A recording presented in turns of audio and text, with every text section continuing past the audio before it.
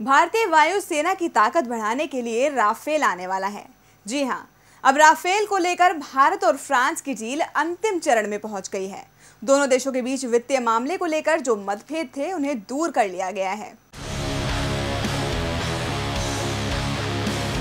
एक ऐसा fighter plane जिसने सीरिया से लेकर इराक तक आईएसआईएस की कमर तोड़ दी। एक ऐसा फाइटर प्लेन जिसने उड़ा रखी है चीन और पाकिस्तान की नींद।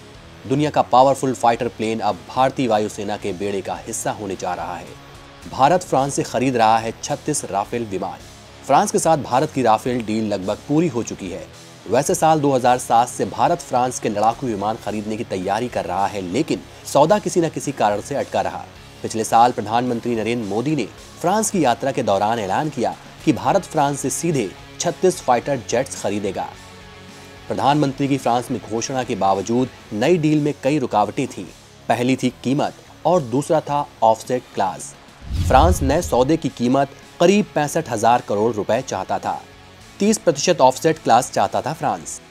लेकिन रक्षा मंत्री मनोहर पर्रिकर सौदे की कीमत कम करना चाहते थे। काफ़ी बातचीत के बाद अब दोनों देशों ने मतभेद दूर कर लिए हैं। राफेल सौदा उनसठ हज़ार करोड़ में तय हुआ। फ्रांस 50 परसेंट ऑफसेट क्लास के लिए भी तैयार हुआ। माना जा रहा है कि अगले महीने मई तक सौदे पर हस्ताक्षर हो सकते हैं लेकिन फ्रांस से राफेल विमान भारत आने में अभी भी कम से कम 18 महीने लगेंगे। अब आपको बताते हैं कि राफेल डील भारत के लिए ज़रूरी क्यों है और आखिर क्या है राफेल की खूबियाँ।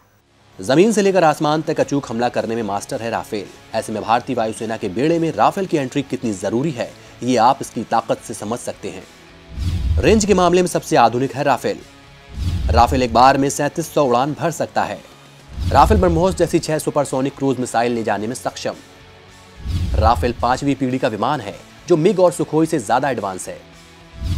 बेहद कम ऊंचाई पर उड़ान के साथ मिसाइल दागने की क्षमता। 5000 किलोग्राम वजनी बम मिसाइल ढोने में सक्षम।